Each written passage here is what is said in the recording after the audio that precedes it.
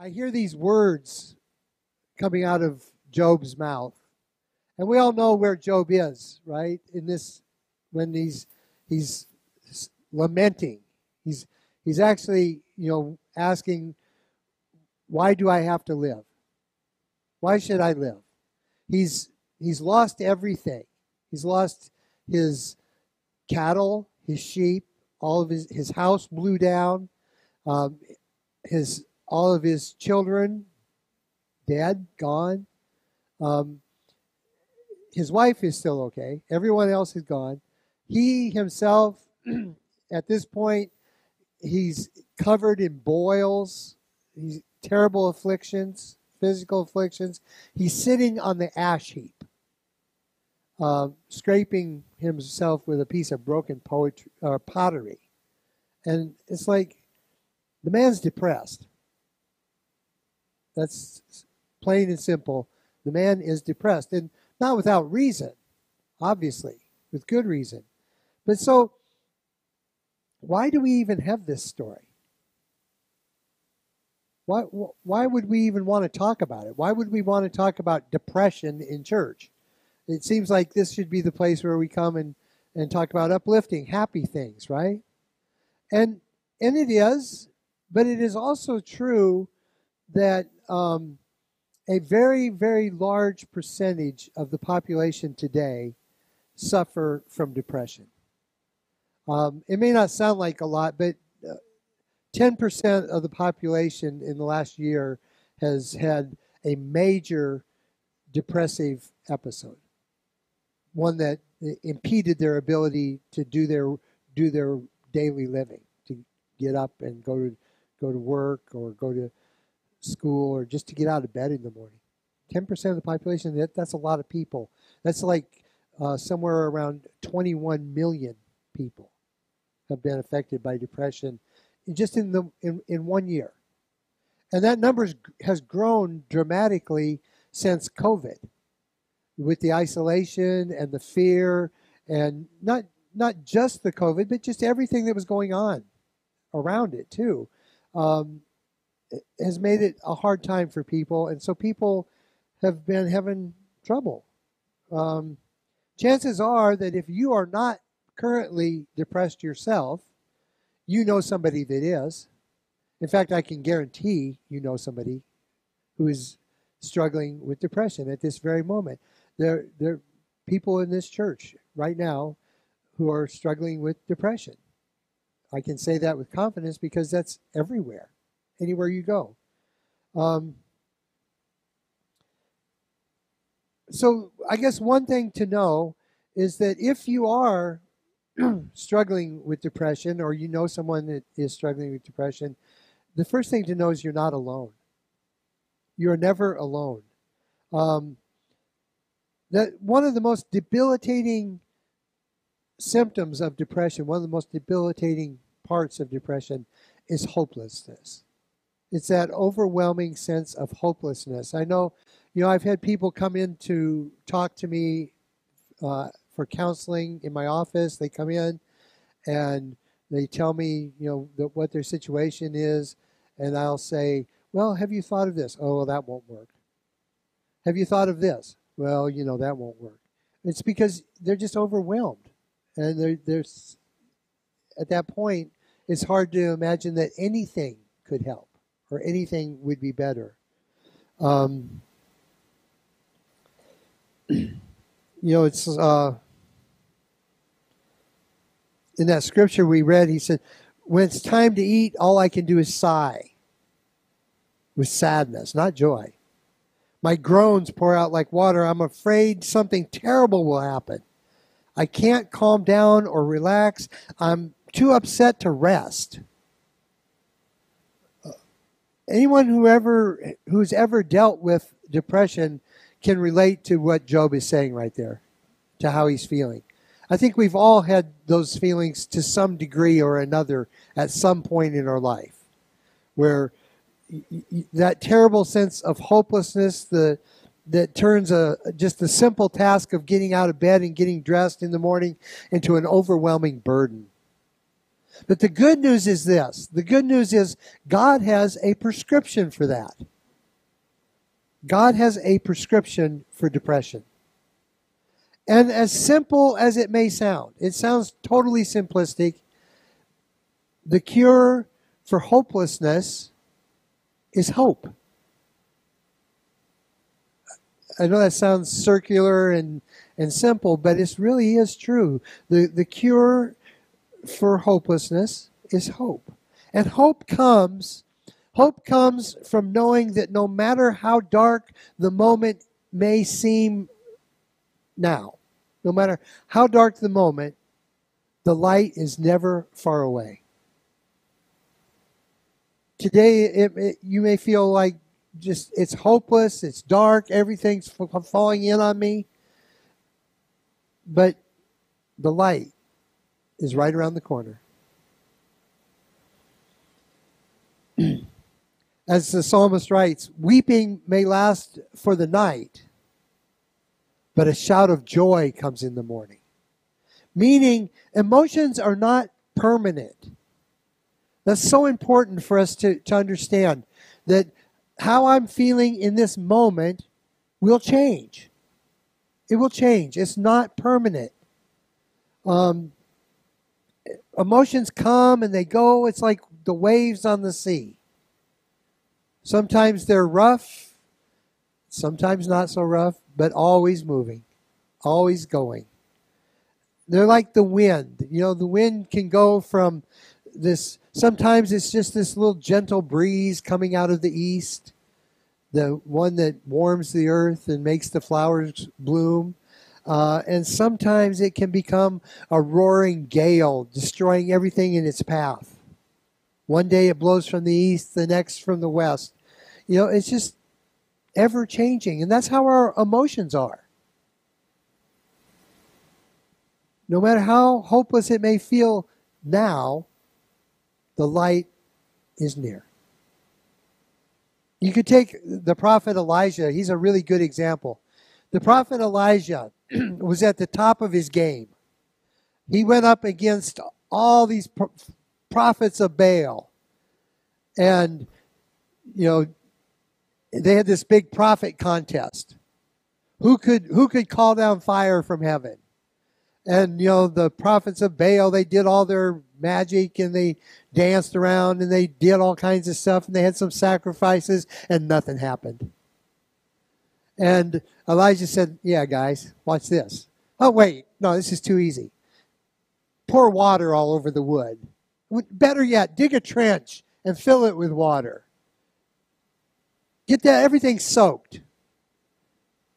And then he just like, hey God, boom, there's fire, right? He he was like, there's nothing better for a prophet than that. He defeated all 400 of the prophets of Baal. And then the next day, where is he? The next day, he's hiding in the desert. He's run away because uh, you know Jezebel said, "I'm going to kill you," and he ran away. And um, and he's you know, and he's saying, here's what it says. It says, but he himself went a day's journey into the wilderness and came and sat down under a solitary broom tree. And he asked God that he might die. Is it enough now, Lord? Take away my life, for I am no better than my ancestors.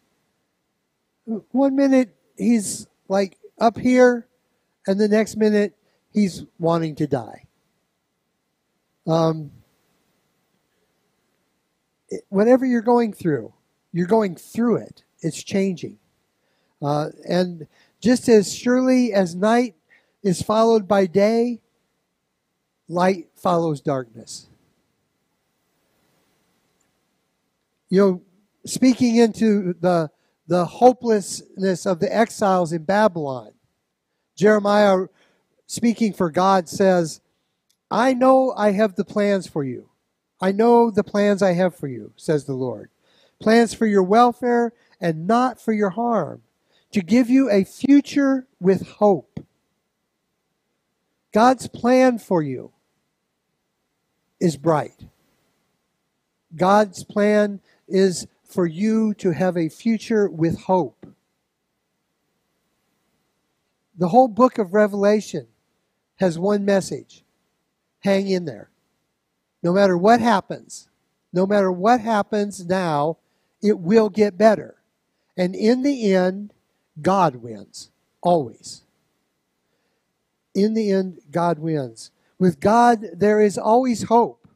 And as Paul writes, hope does not disappoint us because God's love has been poured into our hearts through the Holy Spirit that has been given to us. And that's the second part of the, of the prescription. First, whatever you're going through, you're going through it. It's only temporary. And the second is you are never alone. You are not going through eh, through this alone. God is always with you. No matter where you are, no matter what's happening, God is always with you. Again, the psalmist writes, If I say, Surely the darkness shall cover me, and the light around me become night. Even the darkness is not dark to you, God. The night is as bright as the day, for darkness is as light to you. God is equally present in the darkest moment and in the lightest moment of your life. God is with you. God simply is not afraid of the dark. God penetrates the darkest corners of our minds and, and our souls and washes us with this kind of unending grace, this love that God has that is absolutely unconditional. He co- comes right into the very darkness of our lives, in the, the place of our despair, and sheds light. Jesus is the light. Jesus is the light that John was talking about when he said, The light shines in the darkness, and the darkness does not overcome it. The darkness will never overcome it. You know, if you or someone that you care about is suffering from depression, the first thing you need to know is that the God who called light out of darkness and created order out of chaos has a plan for you. The God who spoke and brought light into darkness has a plan for you. You are not alone. You are never alone, and you are infinitely important to God. Infinitely important. Matthew 20, 10, 29 through 31 says, you can buy two sparrows for only a copper coin. And yet, not even one sparrow falls from the nest without the knowledge of our Father. Aren't you worth more, much more to God than many sparrows? So don't worry, for your Father cares deeply about even the smallest detail of your life. God's prescription for depression is hope. And hope is found in the certain knowledge that the God who created all things has your best interest at heart. God loves you. God wants the best for you. That doesn't mean you're not going to go through some stuff because you are. We all know that. We all know that. We all know that life happens. We go through some stuff. But those of us who have lived long enough also know that you come out on the other side. You know, I remember when my oldest daughter was born, we had planned that she would be born in this birthing clinic, and we had paid money to this birthing clinic and had it all taken care of and ready to go. And my daughter decided to get be born at the same time the doctor at that clinic decided it was time for a vacation.